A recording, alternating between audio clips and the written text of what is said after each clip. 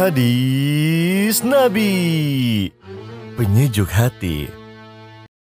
Dari Abu Hurairah radhiyallahu anhu bahwa seseorang berkata kepada Nabi Shallallahu alaihi wasallam Berilah aku nasihat. Beliau menjawab Jangan marah.